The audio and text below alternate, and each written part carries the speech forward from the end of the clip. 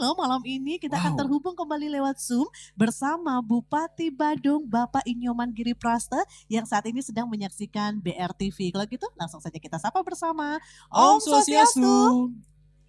Om Swastiastu. Selamat malam Bapak Punapi Gatra. Malam becik, becik, becik. Okay. Bisa ya. dilepas maskernya Bapak. Agar terlihat Wow. Ketampanannya. Baik Bapak, kemarin kita bersama-sama sudah menyaksikan peserta dari Badung, sangat luar biasa sekali. Dan malam ini Bapak kembali kita hadirkan dua peserta asal Badung yang akan tampil. Kira-kira seperti apa apresiasi dan dukungan Bapak Bupati terhadap PRTP dan peserta dari Badung? Terima kasih Anggi sama Eva Jayantika dan selamat malam untuk semua pemirsa Bali TV yang saya cintai, saya banggakan. Om Swastiastu. Berkenaan dengan dukungan, kami eh, pemerintah Kabupaten Badung di era pandemi COVID-19 ini sehingga seluruh sendi kehidupan itu terdampak. Tidak terlupa juga di sektor seni pun kena.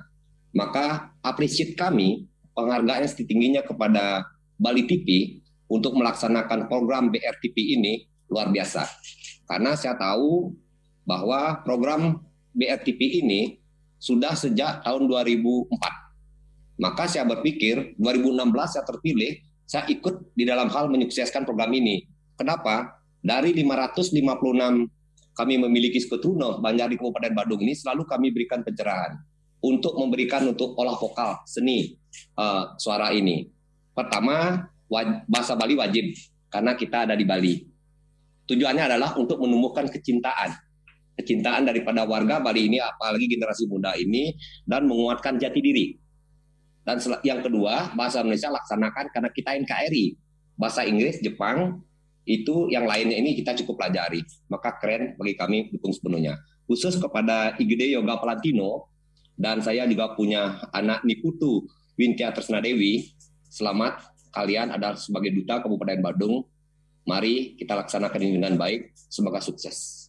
Wow, seperti kita ketahui, Bapak Bupati juga mempunyai suara merdu loh. Wow, nanti mungkin bisa undang ya Bapak Bupati untuk nyanyi bersama-sama kita di sini ya. Dan juga Bapak mengenai pengembangan produk lokal di Kabupaten Badung untuk mewujudkan Nangon Satkerti Lokal Bali, Bali LR Baru, I Love Bali. Seperti apa sih Bapak pengembangannya produk lokal khususnya di Kabupaten Badung? Kami mendukung sepenuhnya karena kami mempunyai prinsip adalah masyarakat Bali, apalagi masyarakat Kabupaten Badung, harus dan wajib menjadi tuan di rumahnya sendiri. Termasuk juga UMKM ini. Sehingga kita akan berbicara tentang IT dengan teknologi ke depannya ini. Sehingga kita akan menunjukkan ini di marketplace. Kita akan kerjasama dengan Tokopedia uh, uh, dan lain sebagainya dengan teknologi itu.